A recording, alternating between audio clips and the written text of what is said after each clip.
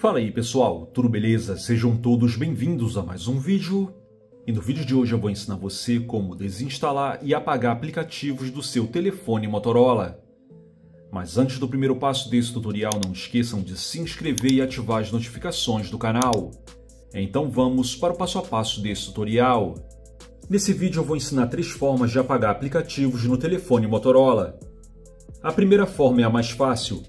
Você vai manter seu dedo pressionado em cima do aplicativo que deseja apagar. Nesse menu que apareceu, selecione a opção Informações do aplicativo. Na página de informações do aplicativo, selecione a opção Desinstalar.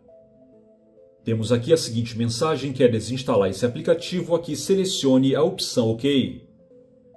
E pronto, o aplicativo foi desinstalado. Na segunda forma, vá até a opção Configurações. Em Configurações, localize a opção Aplicativos.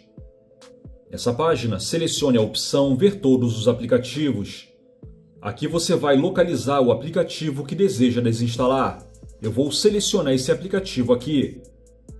Agora, nessa página, selecione a opção Desinstalar. Nesse menu de confirmação, selecione a opção OK.